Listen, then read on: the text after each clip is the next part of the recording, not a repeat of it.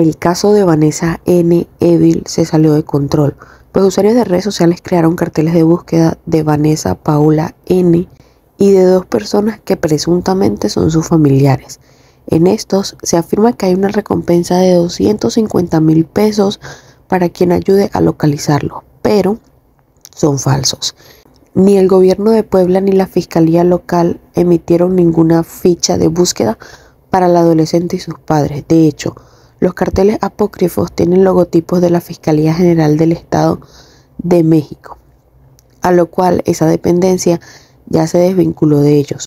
Esta institución no ha emitido esos boletines de búsqueda o recompensa en relación con supuestos hechos de maltrato animal y no existe registro de que hubiera ocurrido en Edomex. Información en redes sociales. Asimismo en Facebook e Instagram aparecieron varias páginas y perfiles que asumían la identidad de Vanessa Paola bajo el nombre de usuario de Vanessa N. Evil. En la mayoría de ellas se postean imágenes del maltrato animal, comentarios sarcásticos sobre la muerte de huellitas, contenido y alegorías a la bio y sui también. Hay otras cuentas que se describen como homenaje a Vanessa N. Evil, en las que se aplaude la del perro y la señalan como un ejemplo a seguir.